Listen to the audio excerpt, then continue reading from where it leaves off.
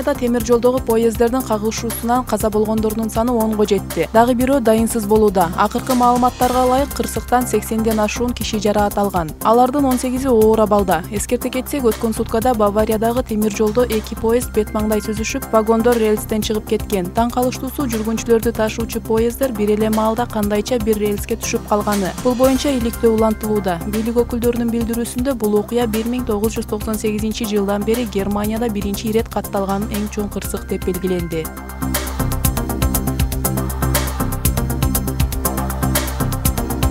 буунун маалыматына ылайык сирияга жиберилген аба соккуларынан көбүнчө жай тургундар жабыркап жатат. Анда орусиянын аскердик учактары сириянын күч түзүмдөрү менен биргеликте ислам мамлекети согушкерлерине каршы жүргүзүп жаткан чабуулдарында алеппо шаарынын жашоочулары каза болуп ошондой эле оорукана имараттары жабыркаган. Куралдуу салгылашуулардан улам өлкө аймагынан отуз миңден ашуун тургундар чыгып кетүүгө аргасыз болушкан. Ага катар акшнын баш катчысы да орусиянын мындай кадамдарын тынымсыз сынга алып келет